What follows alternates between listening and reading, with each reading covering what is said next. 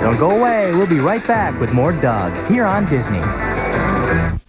And now, let's get back to Doug here on Disney.